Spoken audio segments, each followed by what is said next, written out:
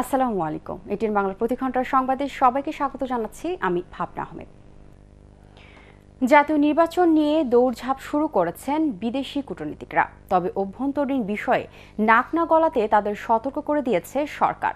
যদিও বিশ্লেষকরা বলছেন, দেশের রাজনীতিতে বড় বিভাজন আর নির্বাচন নিয়ে সমালোচনার সুযোগ নিচ্ছেন কূটনীতিকরা। তবে গণতন্ত্র প্রতিষ্ঠার চেয়ে বিদেশিদের স্বার্থকেই একত্রে এক্ষেত্রে বড় করে দেখছেন তারা।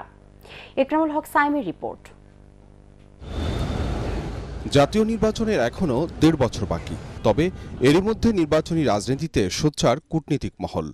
বিদেশি কূটনীতিকরা দল বেঁধে বৈঠক করেছেন নির্বাচন কমিশনের সঙ্গে। একাধিক বৈঠক হয়েছে বিএনপির সঙ্গেও। এ নিয়ে নেতিবাচক মন্তব্য করেছেন সরকারের নীতি নির্ধারকরা। কূটনীতিকদের সতর্ক বার্তা দিয়েছে পররাষ্ট্র মন্ত্রণালয়। বাংলাদেশে বোধহয় একটা ফরেন গভর্নমেন্ট কি পার্টি হওয়া উচিত। কারণ সব রাষ্ট্রদূত ইলেকশন নিয়ে অত ব্যস্ত। স্ট্রেইন আন্তর্জাতিক সম্পর্ক বিশ্লেষক ডক্টর ইমতিয়াজ আহমেদের মতে দেশের অভ্যন্তরীণ ইস্যুতে বিদেশিদের নাক গলানোর সুযোগ দিচ্ছে রাজনৈতিক দলগুলোই। অন্যদিকে সাবেক রাষ্ট্রদূত হুমায়ুন কবির মনে করেন নির্বাচনে কূটনীতিকদের নজর রাখা অস্বাভাবিক কিছু নয়। যে কোনো দেশের জন্যই যে কোনো নির্বাচন একটা বড় বিষয়। তো কাজে সেই বিষয়ে সকলের একটু বড় চোখ বা নজর থাকবে, এটাই স্বাভাবিক। তারা জানতে চায় নির্বাচন কমিশনের পরিকল্পনা কী, তারা কীভাবে নির্বাচনটাকে সুষ্ঠুভাবে সকলের অংশগ্রহণমূলক একটা পরিবেশের মধ্য দিয়ে সে সম্পন্ন করতে পারে। যেহেতু বাংলাদেশের রাজনীতির মধ্যে একটা বড় বিভাজন আছে এবং যেহেতু বাংলাদেশে নির্বাচন নিয়েও সমালোচনা আছে সেই কারণে পশ্চিমা দেশগুলো এই সুযোগটা নেয়। বাংলাদেশের রাজনৈতিক দলরাও ওটা সুযোগ দেয়।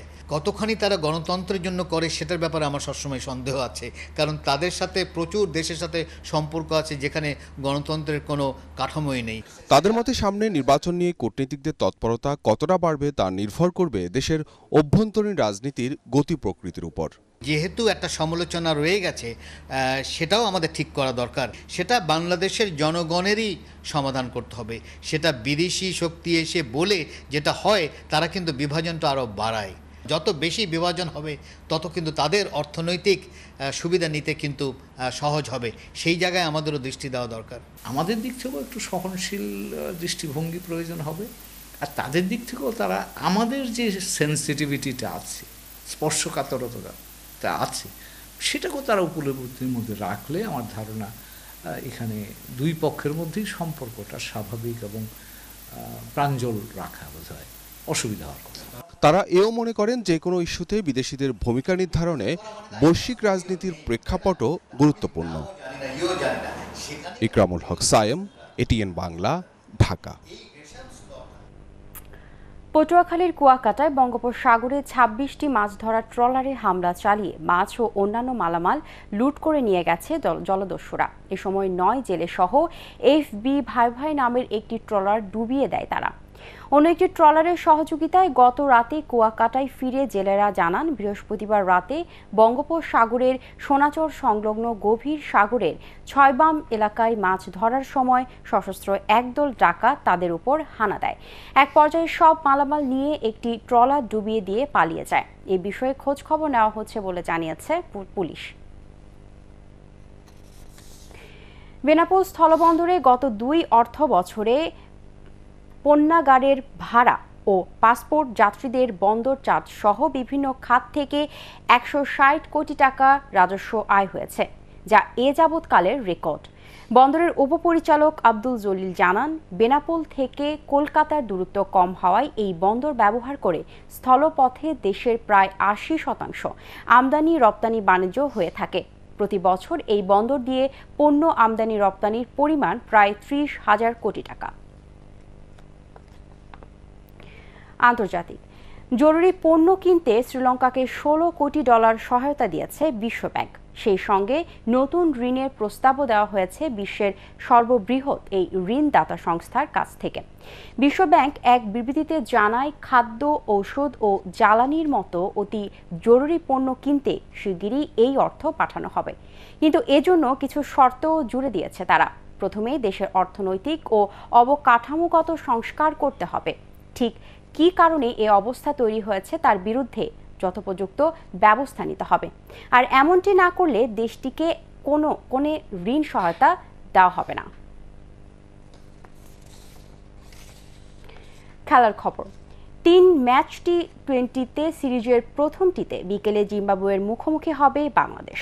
অধিনায়ক নুরুল হাসান সোহান জানান, বাংলাদেশি ব্র্যান্ডের ক্রিকেট খেলতে চান তারা। মাঠে খেলোয়াড়দের কাছ থেকে ভয়ডরহীন ক্রিকেট খেলতে চান তিনি। হারারে স্পোর্ট ক্লাব মাঠে বিকেল পাঁচটায় শুরু হবে ম্যাচটি। এস এম আশরাফের রিপোর্ট। টি টোয়েন্টি মানেই বলের সঙ্গে পাল্লা দিয়ে রানের গতি বাড়ানোর খেলা। এজন্যই পাওয়ার হিটিংয়ের কথা সবসময় বলা হয় এই সংস্করণ নিয়ে। কিন্তু এ জায়গাটায় বরাবরই পিছিয়ে বাংলাদেশ। এর আগে তামিম ইকবাল, মাহমুদুল্লাহ রিয়াদের মতো অভিজ্ঞরা বলেছিলেন, শুধু গায়ের জোরে নয়, বলের টাইমিং কাজে লাগিয়েও বাউন্ডারি ওভার বাউন্ডারি পাওয়া যায়, যাকে তারা বাংলাদেশি ব্র্যান্ড নামে অভিহিত করেছিলেন। এবার সোহানের মুখেও সেই সুর। আমরা বাংলাদেশি আমরা আমাদের নিজেদের ব্র্যান্ডের একটা ক্রিকেট খেলতে চাই। এখানে হয়তো বা আপনার অনেক যেগুলো নাম আপনি বলেন অনেক টিমই হয়তো তারা পাওয়ার হিটিং খুব ভালো পারে বাট আমার কাছে মনে হয় যে আমরা যদি স্মার্ট এবং সেন্সেবল থাকি আমরা ওভার বাউন্ডারি থেকে বাউন্ডারিও মারতে পারব। সো আমার কাছে মনে হয় যে এখানে একটা সুযোগ বা এটা আমাদের নিজেদের একটা চাওয়া যে আমরা হচ্ছে আমাদের ব্র্যান্ডের ক্রিকেটটা খেলতে চাই। যদিও একেবারেই তরুণ দল নিয়ে খেলতে যাওয়া অধিনায়কের জন্য কাজটি কঠিন। পরিসংখ্যানও তার বিপক্ষে।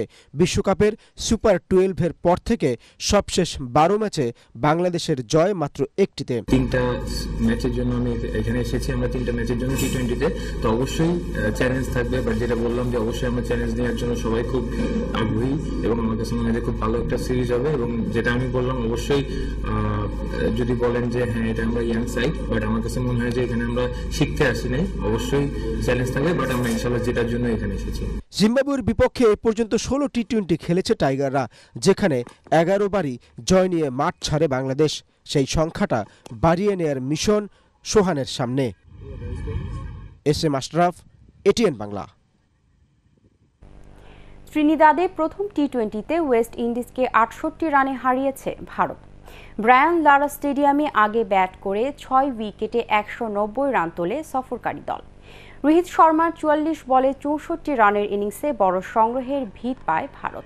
এরপর শেষ দিকে দীনেশ কার্তিক উনিশ বলে একচল্লিশ রান করেন। জবাবে নিয়মিত বিরতিতে উইকেট হারাতে থাকে ওয়েস্ট ইন্ডিজ। সর্বোচ্চ বিশ রান আসে সামরা ব্রুকসের ব্যাট থেকে।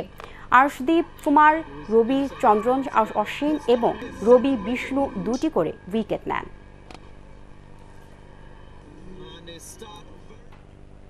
পরবর্তী সংবাদ দেখার আমন্ত্রণ জানিয়ে এখনকার মতো শেষ করছি। এটিএন বাংলার সংবাদ, ইউটিউবে দেখতে ব্রাউজ করুন, YouTube slash ATN Bangla news ধন্যবাদ সবাইকে।